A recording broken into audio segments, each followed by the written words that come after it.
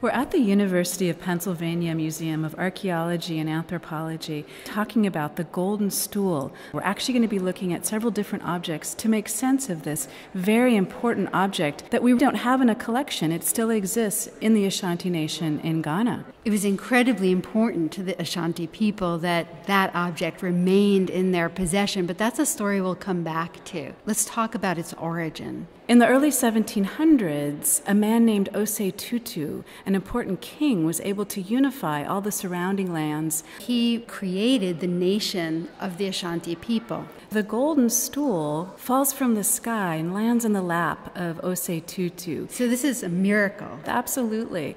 And this is a wooden stool covered in gold, which was said to have been made in the heavens, said to be the soul of the Ashanti nation. So it takes on the essence of the entire group in the same way that we'll see a man's stool or a woman's stool can take on the essence of that person. So, in a way, the stool is more important than any single king of the Ashanti people. It is far more sacred than the Asantehene himself. And in fact, the golden stool is always given its own stool or its own chair on which to sit next to the mm-hmm. Asantehene, like we see in this picture. This is an area that is rich in gold, and the gold comes to symbolize royalty for the Ashanti people. They were in charge of the gold trade through North Africa. This was long before Europeans were even there.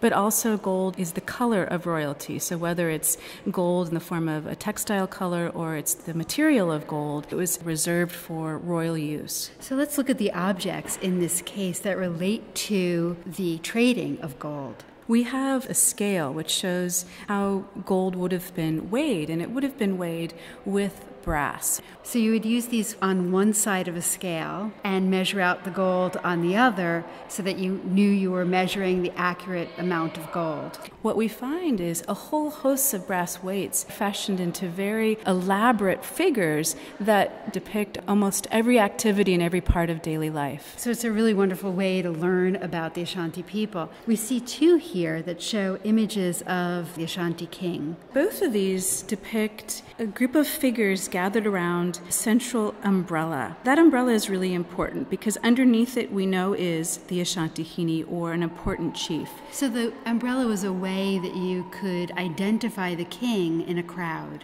The king would also be wearing sandals, and we have a brass weight of just sandals depicted. And in that sense, we understand that the king is divine. In other words, he is seen as an intermediary between the everyday lives of his people and the supernatural realm. He's there to harness the good powers of the supernatural to help his people. He's between the heavens, below the umbrella, but he's above the earth, symbolized by the sandals that he wears. So he's always sandwiched between the two. In one of these gold weights, we see the king surrounded by his retinue under an umbrella, being carried in a palanquin. And surrounding him are his sword bearers. Swords are very important symbols of rule, and they would have had gold handles. And then we see next to it another image of the king, this time with his wife, with the queen. Could be the queen mother, it could be his wife. There's an umbrella, and then two sword bearers in front of him. We also have other brass weights that just depict one figure, and these relate to particular proverbs or stories about virtues. And here we get at this important part about Ashanti uh, modes of communication. That is, that you don't speak directly if you can, you let art speak for you. And you often speak in proverbs. Yeah, so each one of these have messages. If you understand this language, if you can decode it, you can know what the messages are. So one of the ones in the case shows two crocodiles sharing one stomach. And this double headed crocodile has to do with the idea of family sharing a stomach. In other words, your connection, your essence, your belly is connected to your family. That's who nurtures you. So if you go off on your own, you're really not going to get very far in life. And then we have a goat or a ram with these curved horns. And one proverb states that rams move back before they charge. So the idea is that you have thoughtful contemplation, you move away from what you're about to do to make sure it's the right path. So we're looking at these gold weights, and that brings us to another important part of the history of the Ashanti people the continuing involvement of the British The British, certainly since the early 19th century, were interested in securing a way to control gold in this area. And they named this area the Gold Coast. The Ashanti obviously were not wanting to give up their control of this precious material, which had this royal significance. And in 1874, the British destroyed the Ashanti capital, took lots back to England. Much of it remains in the British Museum collection today. And one of the objects, of course, that they really wanted to get their hands on was the golden stool. They first exiled Prempeh I, that was the Asantehene, in the late 1800s. The Ashanti people hid the golden stool. The golden stool, which was obviously very important, in fact, more sacred than Prempeh I himself, was in danger, and the British really tried hard to hunt it down. The British governor said, and I'm reading here from a record of what happened. He said, Where is the golden stool? I am the representative of the paramount power. Why have you relegated me to this ordinary chair? Why did you not take the opportunity of my coming to bring the golden stool for me to sit upon? This was so offensive to the people of Ghana that a foreigner would come and demand their most precious and sacred object to sit on. This is not a stool anyone was allowed to sit on. In fact, it sat on its own stool. So Yaa Asantewaa, a queen mother, assembled all the soldiers she could find to fight against the British. Now, the Ashanti people were defeated, but the stool remained hidden.